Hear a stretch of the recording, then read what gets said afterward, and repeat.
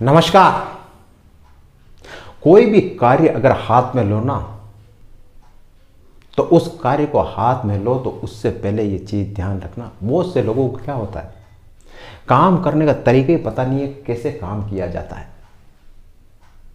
आप ऑफ़िस में वर्क करते हो, आप अपने घर पे वर्क करते हो, आप समाज में कोई वर्क करते हो, या आप बिज़नेस में अपना कोई वर्क करते हो। सबसे पहले एक बात याद रखना। कहीं पे भी वर्क करें आप, समाज में करें, घर पर करें बिज़नेस में करें या नौकरी में करें, काम करने का तरीका जान लेना कि काम कैसे किया जाता है। ठीक है आप ऐसे ही बस वहाँ यार, समाज का काम करना है, बस कर रहे हैं यार, बस।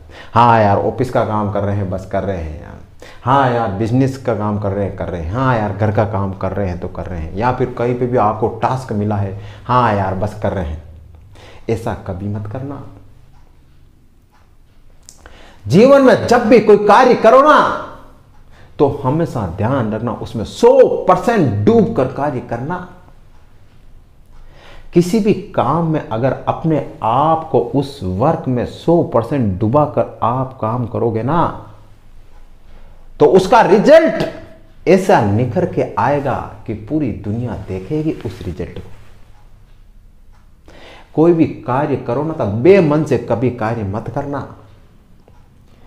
वर्क करो तो उसमें 100 परसेंट डूब जाना। और देखना कि इस वर्क को ऐसा करना कि पूरी दुनिया देखे।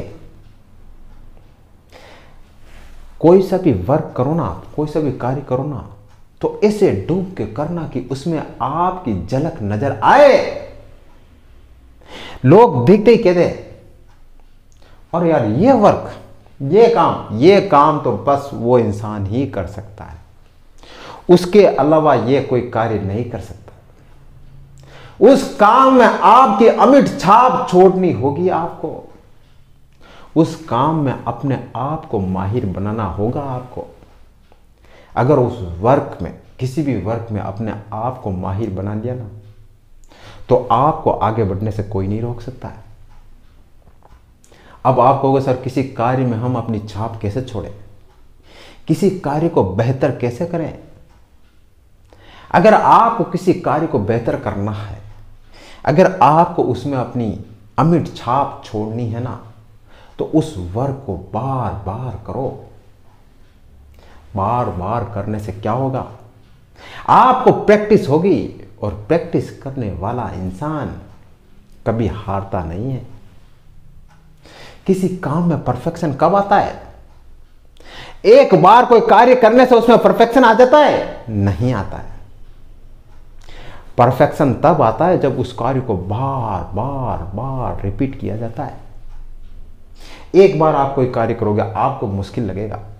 दो बार मुश्किल लगेगा, तीन बार लगेगा। चौथी बार तो वो कार्य आप अरे यार, ये कार्य, ये तो मैंने पहले किया होगा। यूँ चुटकी में वो कार्य कर लोगे आप।